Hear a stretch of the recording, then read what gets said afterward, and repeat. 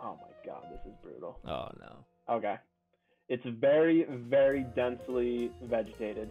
Um, it's like super, super green. Um, we're on a two lane road, white dashes in the middle, solid whites on the edges. Okay. Um, there's like some exposed rock to my north. It's like Ooh. dirt, kind of Exposed rock. So is it like? brown. Hmm. Okay. It um, looks like rainforest. The trees definitely give like a